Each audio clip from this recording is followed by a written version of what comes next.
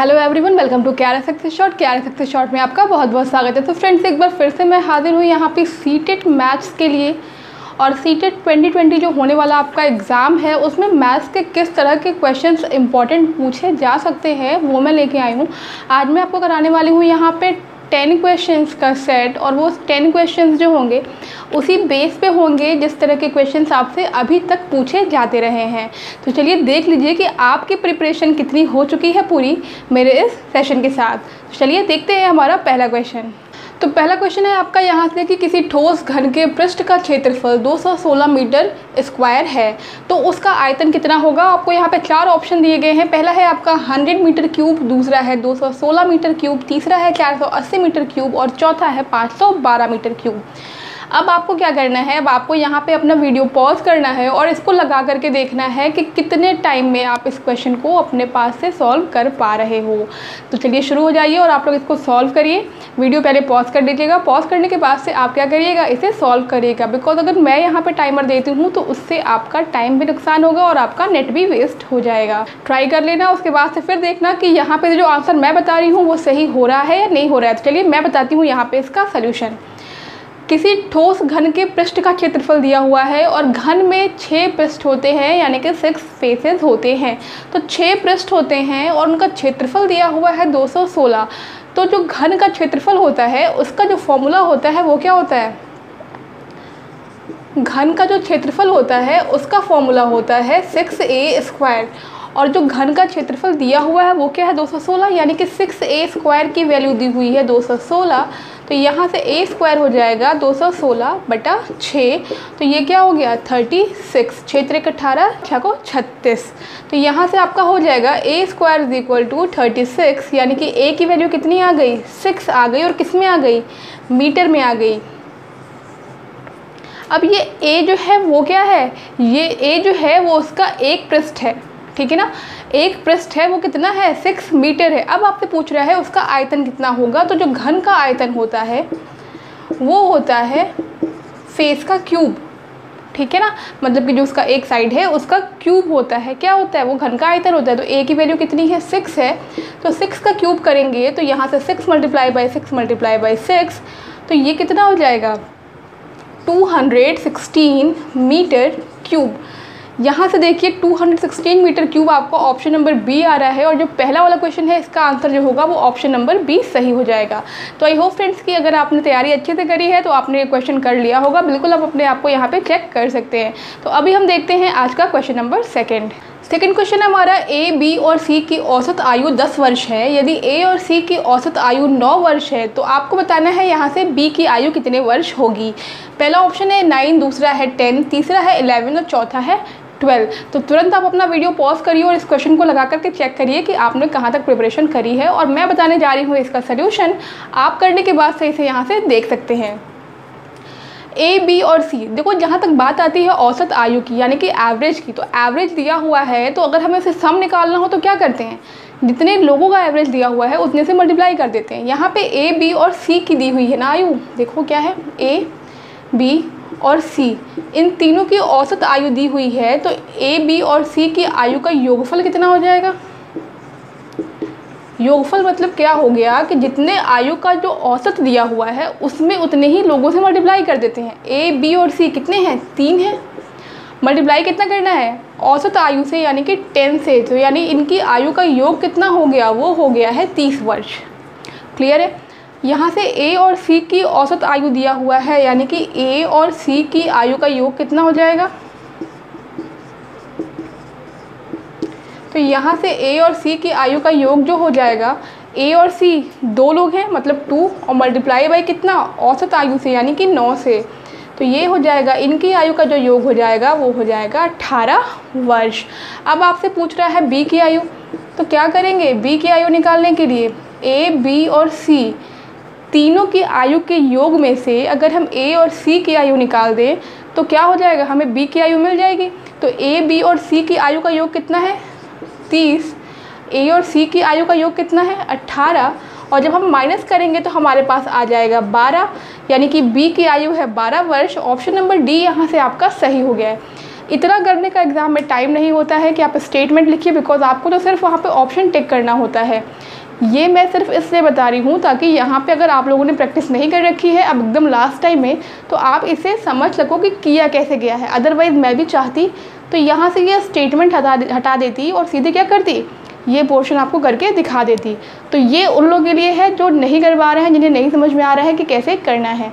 चलिए देखते हैं हमारा next question question number third है हमारा कि यदि a power x is equal to b b power y is equal to c and c power z is equal to a है तो एक्स वाई जेड का मान क्या हो जाएगा? ऑप्शन दे रखा है A is equal to zero B आपका वन है सी टू है और डी थ्री है। तो चलिए शुरू करिए, आप अपनी तरफ़ से करना और मैं कर रही हूँ इसे यहाँ पे। तो देखिए कैसे करेंगे इसे हम। ए एक्स के एक पावर एक्स है और इज़ इक्वल टू बी लिखा हुआ है। तो पहले हम इसको ही लिख लेते हैं। A power x is equal to b अब देखिए, कुछ समझ में नहीं आ रहा है कि हम यहाँ करेंगे क्या। अब ये चीज़ देखिए कि अगर बी पावर वाई हो जाता तो हम इसको सी लिख पाते। तो एक काम करते हैं कि इन दोनों की तरफ़ पावर हम क्या कर लेते हैं? वाई लगा लेते हैं। क्योंकि अगर एक तरफ़ लगाते तो गलत होता। बट हमने तो दोनों तरफ़ पावर क्या किया है? वाई कर लिया है। अब ये ए और ये एक्स और वाई मल्टीप्लाई होकर एक्स वाई हो जाएगा और ये हो जाएगा बी पावर वाई अब आप देख लो कि बी पावर वाई हो चुका है और बी पावर वाई की वैल्यू यहाँ दे रखी है कितनी? सी दे रखी है। तो यहाँ पे हम सी लिख सकते हैं। यानी कि ए के power x y is equal to हम सी कर सकते हैं। ठीक है? हम ये कर क्यों रहे हमें चाहिए एक्स वाई जेड तो हमें एक्स वाई जेड चाहिए, इसलिए हम लोग ये सब काम कर रहे हैं। एक्स वाई मिल चुका है, अभी हमें जेड भी चाहिए। तो अब देखो लॉजिक कहाँ से मिल रहा है? एक्स वाई मिल चुका है, अब हमें जेड भी चाहिए तो हम पावर जेड कर लें, ठीक है? तो अगेन हम क्या करते हैं कि दोनों के पावर यानी कि इन्हीं दोनों के पावर हम जेड लगाते हैं। एक बार इधर लगाते हैं और एक बार इधर लगाते हैं। तो क्या हो जाएगा? ए के पावर एक्स वाई जेड हो जाएगा और ये सी के पावर जेड हो जाएगा। सी के पावर जेड की वैल्यू यहाँ से ए है। यानी कि ए के पावर एक्स वाई जेड और यहाँ से ए क्या हो गया? ए के पावर एक्स वाई जेड और यहाँ से ए बिकॉज़ इसकी वैल्यू तो ए ही है ना? अब इस ए के पावर क्या है? भाई ज़ीरो तो है नहीं। अगर ए पावर ज़ीरो होता तो ये पूरी वैल्यू वन हो जाती। मतलब कि यहाँ पे क्या है? वन है जो आपको दिख नहीं रहा है। अगर कहीं बी लिखा है तो बी की पावर वन होता है, ये आपको मानना है। दोनों को कंपेयर करेंगे तो एक्स वाई जेड की वैल्यू ये ए और ए दोनों बेस में है कंपेयर करेंगे तो एक्स वाई जेड यानी कि ये पावर इस पावर के इक्वल हो जाएगा। तो एक्स वाई जेड इसकी वैल्यू आ जाएगी वन यहाँ से। और यहाँ से जो आपका ऑप्शन हो जाएगा, वो ऑप्शन नंबर बी जो है, वो सही हो जाएगा। देख लेते हैं क्वेश्चन नंबर फोर तो नेक्स्ट क्वेश्चन हमारा क्वेश्चन नंबर फोर है। फोर देखिए, बहुत ही इजी क्वेश्चन है। यहाँ पे पूछ रहा है zero point zero one five nine में वन का स्थानीय मान है। तो इसमें आपको पॉज करने की ज़रूरत नहीं है बिकॉज़ ये बहुत ही ईजी है। प्लेस वैल्यू और फेस वैल्यू मैंने करा रखा है। पहले सीटेड की क्लास में अपने। तो अगर आपको वो चाहिए होगा तो उसका जो बेसिक्स है, वो आपको वहाँ से क्लियर हो जाएगा। आप देख लेना। मैं डिस्क्रिप्शन बॉक्स में जो है, अपना जो है, वहाँ का लिंक डाल दूँगी। आपसे पूछ रहा है वन का स्थानीय मान। तो देखो वन इसमें आ कहाँ रहा है? पॉइंट ज़ीरो वन ठीक है? ऐसे आ रहा है ना? ज़ीरो पॉइंट पॉइंट यहाँ लग रहा है ज़ीरो वन यानी इसे हम कह सकते हैं पॉइंट ज़ीरो वन और पॉइंट ज़ीरो वन को हम लिखते क्या हैं? पॉइंट ज़ीरो वन को लिखते हैं हम one by hundred because hundred से हमने डिवाइड किया है हंड्रेड में कितने ज़ीरो होते हैं? टू ज़ीरो होते हैं। और यहाँ पर भी देखो पॉइंट जो है वो टू डिजिट के पहले लगा हुआ है। दैट मीन्स कि वन बाई हंड्रेड यानी कि ऑप्शन नंबर सी यहाँ से इसका आंसर हो जाएगा। नेक्स्ट हमारा क्वेश्चन भी देखिए, बहुत छोटा सा है। Five by six multiply by two by nine plus two by nine divide by six by seven का सरलतम रूप क्या होगा? चार आपको ऑप्शन दे रखे हैं। दिखने में बहुत छोटा है बट करने का जो उसका मेथड है, वो थोड़ा सा डिफरेंट होगा। जब भी इस तरह का क्वेश्चन आता है तो कन्फ्यूज़न ये क्रिएट हो जाती है कि हम पहले सॉल्व क्या करें। तो हमेशा ये जान लो कि कभी भी इस तरह का सिंप्लीफिकेशन आता है तो आपको बॉडमास रूल लगाना पड़ता है और बॉडमास रूल को आप फॉलो करेंगे। तो जो आपका बॉडमास रूल होता है B O D M A S B से होता है आपका ब्रैकेट अगर ब्रैकेट लगा है तो पहले उसको आप तोड़ेंगे। ओ से होता है ऑफ़ ऑफ़ मीन्स होता है का। अगर हिंदी में कहीं का लिखा होता है तो फिर उसको हम का को तोड़ते हैं। डी से डिवीज़न हो जाता है भाग। एम से मल्टीप्लिकेशन यानी गुणा। ए से एडिशन यानी कि जोड़ और एस से सब्ट्रैक्शन यानी कि माइनस करते हैं। उसमें हम ऋण करते हैं। यहाँ पे सबसे पहले साइन कौन सा दिख रहा है? यहाँ पे तो देखो ब्रैकेट भी नहीं है। छोड़ दिया। ऑफ़ यानी का भी कहीं नहीं लिखा है तो का को भी छोड़ देंगे। फिर डिवीज़न आ रहा है मतलब कि पहले हमें ये सॉल्व करना है। तो चलिए सॉल्व करते हैं यहाँ से five by six multiply by two by nine plus two by nine ये डिवीज़न है, हमें सॉल्व करना है तो या तो आप क्या करेंगे, उल्टा करके डिवाइड कर दें और या क्या करें इसे हम मल्टीप्लाई करके हम इसे पलट देंगे, यानी कि सेवन बाई सिक्स कर लेंगे। तो ये टू थ्री जा सिक्स हो जाएगा। और वापस से लिख सकते हैं five by six into two by nine plus seven by twenty seven अब क्या करेंगे? यहाँ प्लस आ चुका है और यहाँ मल्टीप्लाई है। तो डिवीज़न के बाद से मल्टीप्लिकेशन करते हैं तो मल्टीप्लाई कर लेते हैं तो फाइव टू जा टेन और ये फिफ्टी फोर और plus seven by twenty seven चाहो तो इसे आप लोग कट कर लो। कट इसलिए कर लो कट करने से क्या हो जाएगा? ट्वेंटी सेवन ट्वेंटी सेवन जो है बेस इसका इक्वल हो जाएगा डिनोमिनेटर जो है वो इक्वल हो जाएगा। टू फाइव जा टेन, टू टू जा फोर, टू सेवन जा फोर्टीन। यानी कि ये फाइव बाई ट्वेंटी सेवन हो गया है और ये सेवन बाई ट्वेंटी सेवन। इसे हम लिख सकते हैं ट्वेल्व बाई ट्वेंटी सेवन। अब ट्वेल्व बाई ट्वेंटी सेवन क्योंकि ये आपका फ्रैक्शन में आ चुका है और आपका जो ऑप्शन दे रखा है वो पॉइंट में दे रखा है तो आपको इसको क्या करना पड़ेगा? डेसिमल में लेके आना ही पड़ेगा। तो ट्वेंटी सेवन से अगर हम डिवाइड करना चाहें, देखो तो ये थ्री से पहले कट रहा है। यानी कि फोर बाई नाइन। अब फोर बाई नाइन से करना यदि हो गया, ज़ीरो लगाएँगे, पॉइंट लगाएँगे। नाइन फोर जा थर्टी सिक्स, नाइन फोर जा थर्टी सिक्स। यानी कि ज़ीरो पॉइंट फोर फोर जो है इसका आंसर हो जाएगा। क्वेश्चन नंबर फिफ्थ के फ़र्स्ट पार्ट, क्या हो जाएँगे इसके?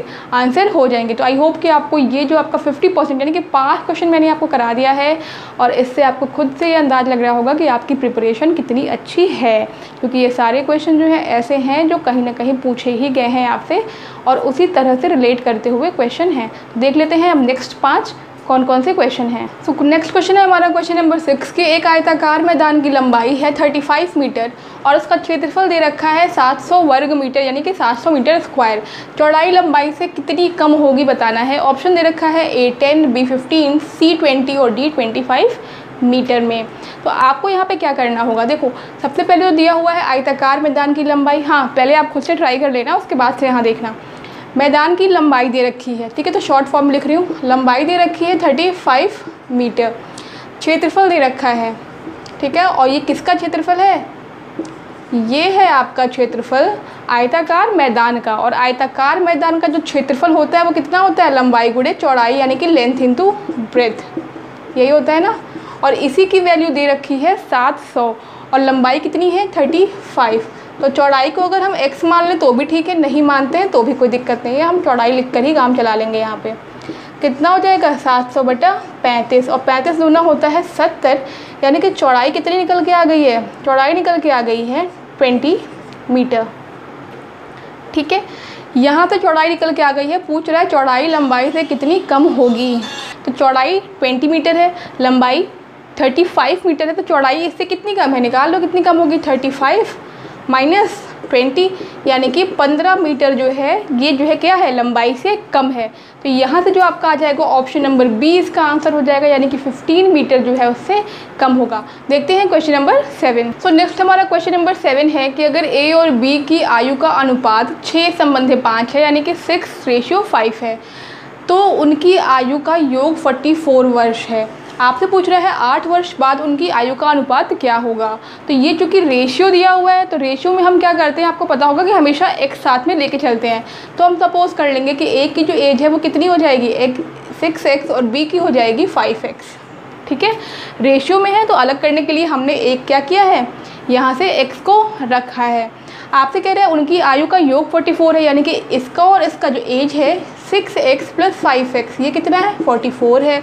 तो यहाँ से इलेवन एक्स की वैल्यू फोर्टी फोर हो जाएगी तो एक्स की वैल्यू क्या हो गई? फोर्टी फोर बाई इलेवन मतलब कि फोर एक्स की वैल्यू फोर आ गई. अब आप क्या कर सकते हैं? इनका आयु तो निकाल सकते हैं तो ए की आयु कितनी हो जाएगी? ए की आयु हो जाएगी यहाँ से कितनी है? सिक्स एक्स और एक्स की वैल्यू फोर निकल के आ गई है. यानी कि ए की आयु जो है वो चौबीस वर्ष है और जो बी की आयु है वो कितनी है? वो हो जाएगी फाइव एक्स बिकॉज़ वो हमने क्या लिया है? फाइव एक्स लिया है। तो फाइव इंटू फोर ये हो जाएगा कितना? ट्वेंटी ईयर्स यानी कि बीस वर्ष। अभी भी क्वेश्चन यहाँ पे ख़त्म नहीं हुआ है। पूछ रहा है, आठ वर्ष बाद उनकी आयु का अनुपात बताइए। तो अभी तो ये वर्तमान आयु निकल गई। अब आठ वर्ष बाद तो आज अगर किसी की एज दस साल है तो आज से आठ साल बाद कितनी हो जाएगी? उसमें आठ प्लस कर देते। हैं तो यही इनकी प्रेजेंट एज है और आठ साल बाद तो ए की आयु जो है आठ साल बाद कितनी होगी? ट्वेंटी फोर प्लस एट यानी कि थर्टी टू ईयर्स ठीक है? वर्ष आ, ये ईयर्स में है समझ लेना थर्टी टू और शायद यहाँ दिख नहीं रहा होगा। मैं यहाँ लिख रही हूँ ए की आयु कितनी हो गई? थर्टी टू ईयर्स ठीक है? और बी की कितनी हो जाएगी? ये प्रेजेंट की है, आठ वर्ष बाद हो जाएगी ट्वेंटी एट आपसे पूछ रहा है, इसका अनुपात बताइए, ठीक है? तो ए थर्टी टू है और बी ट्वेंटी एट है। अनुपात कितना हो गया? फोर एट या थर्टी टू और फोर सेवन या ट्वेंटी एट यानी कि आठ संबंधित, सात जो है, इसका हो जाएगा रेशियो यानी कि आठ वर्ष बाद ए और बी की आयु का अनुपात एट रेशियो सेवन हो जाएगा। देखते हैं next question number eight next हमारा क्वेश्चन नंबर एट देखिए क्या है कि एक त्रिभुज के कोणों में दो रेशियो तीन और रेशियो चार का अनुपात है, त्रिभुज के कोण होंगे। तो मैंने बताया था कि जो रेशियो वाले क्वेश्चंस होते हैं, उनमें क्या कर लेते हैं हम? मान लेते हैं कि तीन कोण होते हैं त्रिभुज में, ठीक है? पहला कितना है? टू है, यानी कि टू एक्स है, ठीक है? जो पहला कोड है, वो कितना है आपका? यहाँ से टू एक्स है। जो दूसरा कोड है, ये लिखने की ज़रूरत नहीं है, बस मैं समझा रही हूँ। थ्री एक्स और तीसरा जो कोड होगा, वो कितना है? वो है आपका फोर एक्स। ठीक है? त्रिभुज के कोण कौन कौन से होंगे? इतना ही पूछा है। ठीक है ना? और आपको ये पता होगा कि त्रिभुज में तीनों कोणों का जो योगफल होता है, वो 180 अंश होता है। तो ये जो वन, टू, थ्री, इन तीनों का जो योगफल होगा, वो कितना होगा? 180 डिग्री होगा। तो यहाँ से ये 180 कितना हो गया? ये हो गया 9x और ये हो गया 180 ठीक है? तो x की वैल्यू कितनी हो गई? यहाँ से 20 हो गई। अब अगर x 20 हो गया है तो हम सारे कोड निकाल सकते हैं। जहाँ जहाँ x है, वहाँ वहाँ 20 फिल कर देंगे। तो यहाँ 2 इंटू ट्वेंटी यानी कि 40 3 इंटू ट्वेंटी यानी कि सिक्सटी और ये फोर इंटू ट्वेंटी यानी कि एटी आंसर कितना आ गया? है फोर्टी सिक्सटी एटी और ये आपका है ऑप्शन नंबर सी यानी कि जो इसके कोड हो जाएँगे, वो चालीस डिग्री साठ डिग्री और अस्सी डिग्री हो जाएँगे। देख लेते हैं हमारा लास्ट सेकेंड क्वेश्चन यानी कि question number nine next question हमारा क्वेश्चन नंबर नाइन है। देखिए पॉइंट वन टू फाइव के पावर टू बाई थ्री का मान क्या होगा? ऑप्शन दे रखा है two point five zero point two five point zero two five और point zero zero two five तो क्या करते हैं? पॉइंट वन टू फाइव है। वन ट्वेंटी फाइव जो होता है, वो फाइव का क्यूब होता है। तो अगर पॉइंट वन टू फाइव लिखा हुआ है मतलब कि तीन डिजिट के पहले डेसिमल है मतलब कि ये पॉइंट फाइव का क्यूब है। तो इसे हम लिख सकते हैं ज़ीरो पॉइंट फाइव का क्यूब। ठीक है? और इसके भी पावर कितना है? टू बाई थ्री है। यानी कि यहाँ पे हम क्या लिख सकते हैं? Two by three. लेकिन जब हम पावर को मल्टीप्लाई करेंगे तो क्या हो जाएगा? Zero point five power three multiply by two by three three से थ्री कैंसिल आउट हो जाएगा तो बच क्या रहा है? ज़ीरो पॉइंट फाइव का स्क्वायर बच रहा है। मतलब कि ज़ीरो पॉइंट फाइव को दो बार मल्टीप्लाई करना है और ये आ जाएगा ज़ीरो पॉइंट टू फाइव जो कि है आपका option number B okay next हमारा टेंथ क्वेश्चन है टू बाई थ्री और थ्री बाई फोर का लघुत्तम समापवर्त क्या होगा? मैंने इसे भी अपने सीटेट की क्लास में करा रखा है कि भिन्नों का लघुत्तम समापवर्त कैसे निकाला जाता है। तो आप वहाँ पर बिल्कुल देख सकते हैं, मैं इसका भी जो है लिंक डिस्क्रिप्शन बॉक्स में डाल दूँगी। जब भी भिन्न की बात करते हैं और उनका लसा या मसा पूछता है तो अगर भिन्न है, ठीक है, यानी कि फ्रैक्शन में है, और अगर लसा पूछ रहा है तो हम पहले ऊपर वालों का, यानी कि जो आपका न्यूमरेटर होता है, अंश होता है, उसका निकालते हैं ल, स, और जो हर होता है, उसका निकालते हैं म, स। यहाँ पे लघुत्तम ही पूछ रहा है तो हम क्या निकालेंगे? यहाँ से निकाल देंगे दो और तीन का ल, स, यानी कि लघुत्तम समापवर्त अपॉन, जो नीचे दिया हुआ है डिनोमिनेटर में, यानी कि हर में, तीन और चार का मस चूँकि ये अभी मैंने फ़र्स्ट टाइम कराया है यहाँ पे, इसलिए मैंने बहुत छोटे नंबर लिए हैं। नंबर्स चेंज भी कर सकता है, बस आपको करने का तरीका पता होना चाहिए। टू और थ्री का लस लस मतलब एलसीएम तो जो कि बहुत छोटे नंबर है तो क्या हो जाएगा? सिक्स हो जाएगा। टू मल्टीप्लाई बाई थ्री और अगर थ्री और फोर का मस है मतलब कि क्या है? एच सी एफ़ ठीक है ना? Common factor highest common factor तो थ्री और फोर में क्या कॉमन हो रहा है? वन ही तो कॉमन हो रहा है ना? तो क्या हो जाएगा? यहाँ वन हो जाएगा और ये हो जाएगा सिक्स यानी कि जो आंसर हो जाएगा यहाँ से टेंथ का डी हो जाएगा। तो ये रहा मेरा आज का टेन क्वेश्चन का सेट और इससे डेफिनेटली आप अंदाज लगा पाओगे कि आप कहाँ लाई कर रहे हो अभी और आपकी तैयारी कितनी है मैथ्स की। तो ऐसे ही मैं सेट्स लेके आती रहूँगी। तो आप लोग प्लीज़ अगर नए हो, जो बच्चे नए हैं, वो मेरे चैनल को सब्सक्राइब ज़रूर कर लेंगे और हाँ बेलाइकन पर क्लिक कर देंगे और जो पुराने हैं, वो बाकी सारी वीडियोज़ जो मैं डाल चुकी हूँ, वो भी देखते रहें। तो मिलते हैं अपने नेक्स्ट सेशन में और हाँ कमेंट करके ज़रूर से बताना कि सेशन कैसा लगा तो मैं इस तरह के और भी क्वेश्चन जो हैं आपके लिए लेकर के आऊँगी। मिलते हैं नेक्स्ट वीडियो में. Till take care and bye